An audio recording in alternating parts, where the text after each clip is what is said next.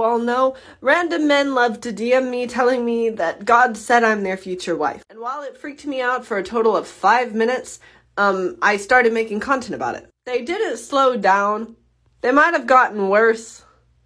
And that might be my fault because people now think it's funny. But I'm temporarily back in five minutes of freaking out because I just got a DM that said, Hi, Satan told me to take you to IHOP.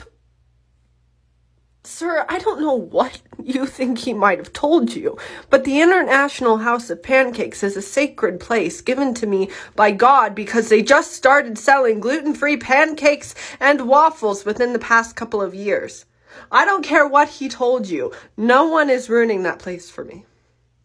I'm not single, I'm taken. Take it from Jesus Christ. Who this Adrian? Big up yourself, bro. Um, yeah, me actually I wait before me have sex again. I'm say again because I've been there and I've done that.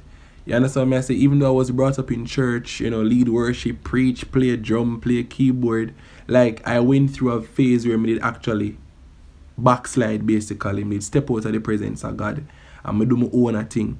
But as a person who has experienced the best of both worlds, me can really tell you say it pays to wait because where are those girls today?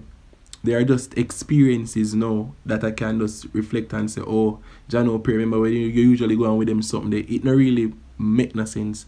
It's better you wait until the Lord leads you to the person, right? You know, get married, you know, do it the right way, than fear get involved in, in, in a spiritual experience and it not really add up at the end of the day.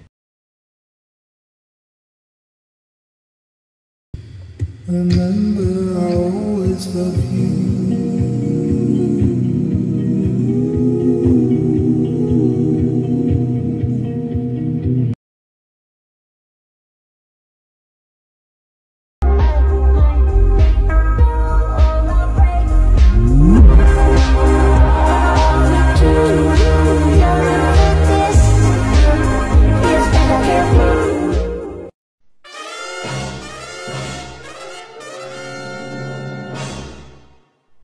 You like this, he can't take care of you like this. Now you're lost, lost in the heat of it all.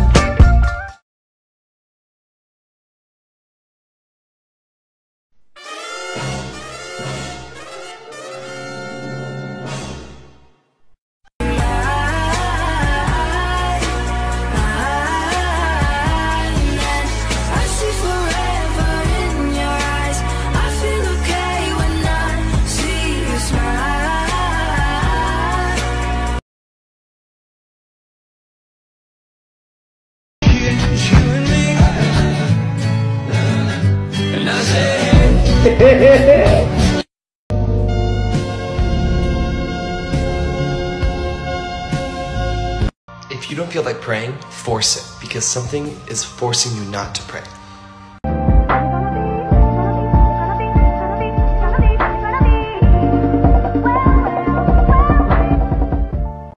What you?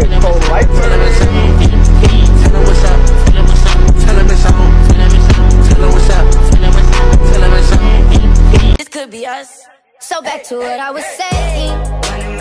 This could be us when she playing. I don't like being around you because I feel bad. You make me feel bad.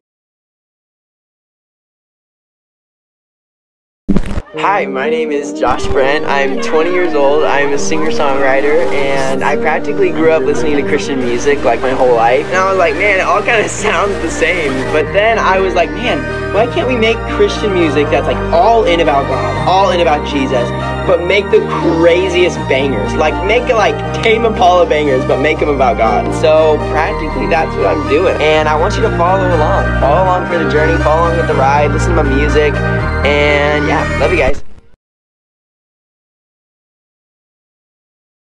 Like a.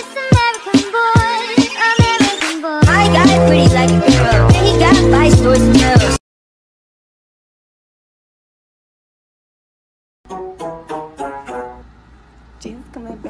About. And he gonna come through in the clouds about. Da, da, da, da, da, da. If you ain't gay or like to do it right now.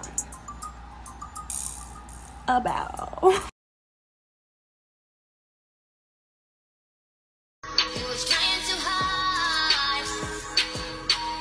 I'm not here living though. I am not here living though. I've been confused as of late, yeah.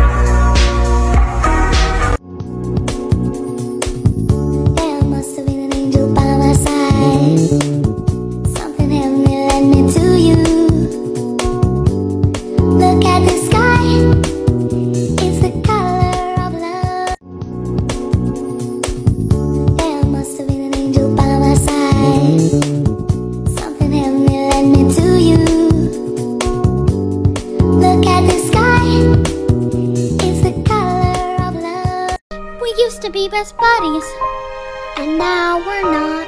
I wish you would tell me why. We used to be best buddies, and now we're not. I wish you would tell me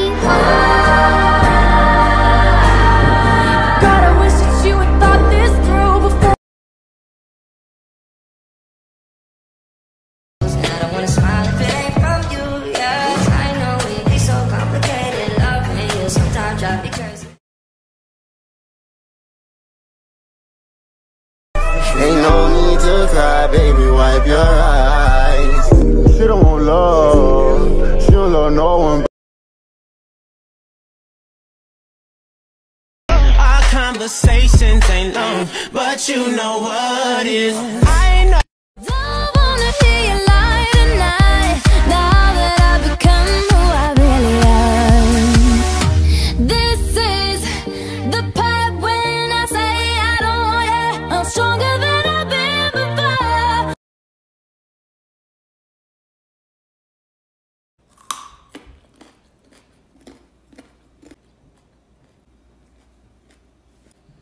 So there was a bush. Yes. And the bush was on fire. Yes. But it wasn't burning. Correct. And it spoke. Mm-hmm. And you spoke back. It was God. What you want me to do? I don't know. Run. You can't run from God, Z. Whatever.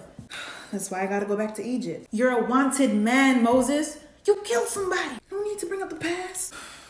Well, I guess if the Lord spoke to you, you gotta go. Yeah, but he wants me to go before Pharaoh, and I ain't even good at speaking. Don't worry, baby. I'm sure your big brother Aaron got you. I am a little nervous, though, I can't lie. Yeah. But you know what? That's what you get for talking to a bush. Oh, come on. Unbelievable. Like, what next? You gonna turn a stick into a snake? You've got to be kidding me. It was pretty cool. I ain't doing this with you, Moses.